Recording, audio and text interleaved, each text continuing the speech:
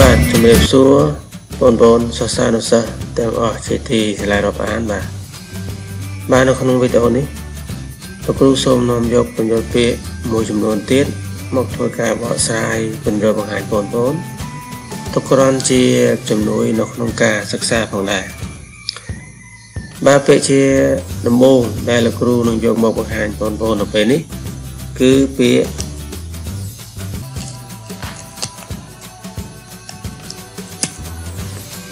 បាទគឺពាក្យផលផុសបាទផលផុសផលផុសឋានៈពាក្យជាកិរិយាសព្ទពិសេសមានន័យថាសកម្មភាពរស់រវើកក្នុងស្មារតីព្រមព្រៀងឧទាហរណ៍បង្កបង្កើនផលយ៉ាងផលផុសបញ្ចេញមតិយ៉ាងផលផុសបាទម្ដងទៀត ផលផុសធនពាក្យជាកិរិយាសព្ទពិសេសមានន័យថាសកម្មភាពរស់រវើកក្នុងស្មារតីព្រមព្រៀងឧទាហរណ៍បង្កបង្កើនផលយ៉ាងផលផុសបញ្ចេញមតិយ៉ាងផលផុសបាទពាក្យជាបន្តទៅទៀតនេះបាទគឺពាក្យផែនការមេបាទផែនការមេ ផែនការមេថ្នាក់ពេជ្ជនាមមានន័យថាផែនការដែលគេរៀបចំ ជាមូលដ្ឋានសម្រាប់ទីក្រុងបាទដល់ទៀតផែនការមេថ្នាក់ពេជ្ជនាមមានន័យថា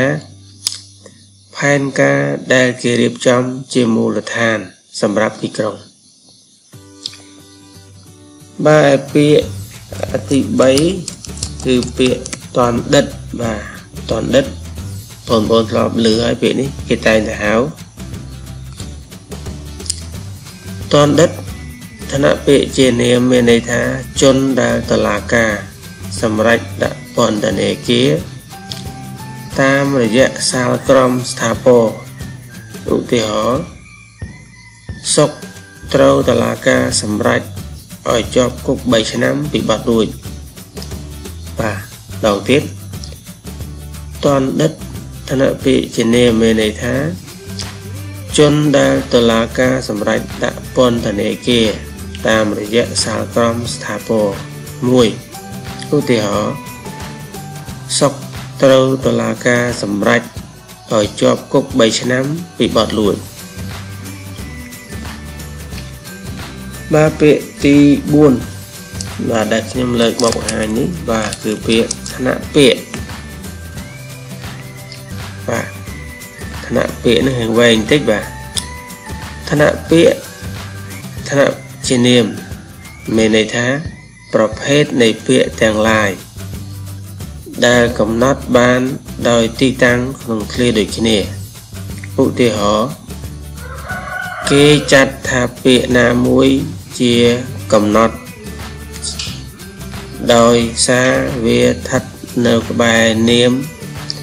ដែលវាបញ្ជាក់ លក្ខណៈដូចជាសៀវភៅមួយមួយជាពាក្យនៅក្នុងឋានៈកំណត់ម្ដងទៀតឋានៈពាក្យឋានៈពាក្យជានាមមានន័យថាប្រភេទនៃពាក្យទាំងឡាយដែលកំណត់បានដោយទីតាំងក្នុងឃ្លាដូចគ្នាឧទាហរណ៍គេចាត់ថាពាក្យណាមួយជាកំណត់ ដោយសារវាស្ថិតនៅក្បែរនាម ដែលវាបញ្ជាក់លក្ខណៈដូចជាសៀវភៅមួយមួយជាពាក្យនៅក្នុងឋានៈកំណត់បាទបងប្អូនទាំងអស់ជាទីស្រឡាញ់បាទឧស្សាហៈថាបត្តិ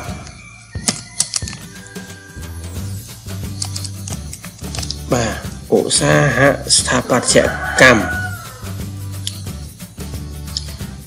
ឧស្សាហស្ថាបត្យកម្មឋានៈពាក្យជានាមមានន័យថាទស្សនៈក្នុងការសាងសង់អគារឧស្សាហកម្មដែលក្នុងនោះមានឆន្ទៈសមាសភាពមុខងារសុផានុភាពនិងមនុស្សផងបាទដល់ទៀតឧស្សាហស្ថាបត្យកម្មឋានៈពាក្យជានាមមានន័យថាទស្សនៈ ក្នុងការសាងសង់អគារឧស្សាហកម្មដែលក្នុងនោះមានឆន្ទៈសមាសភាពមុខងារប្រព័ន្ធភាពនិងមនុស្សផងបាទបងប្អូនសាសានុសិស្សទាំងអស់ជាទីរាប់អានពេលដែលលោកគ្រូលើកមកបង្ហាញនៅក្នុងវីដេអូនេះបាទសូមបញ្ចប់តែប៉ុណ្ណេះចំពោះបងប្អូនមានចម្ងល់បាទតកតងនឹងពន្យល់ពាក្យតកតងទៅនឹងពាក្យសូដូចនៃដូចបាទ សូមបងប្អូនធ្វើការខមមិនខាងក្រោមវីដេអូលោកគ្រូឬមួយ join ក្រុម Telegram ដែលមានឈ្មោះថាបញ្យល់ពាក្យខ្មែរហើយសាកសួរនៅក្នុងក្រុម Telegram នោះលោកគ្រូរូបជាខ្ញុំបកស្រាយឲ្យអស់ពីលទ្ធភាពបាទអញ្ចឹងវីដេអូនេះសូមបញ្ចប់ប៉ុណ្ណេះអរគុណ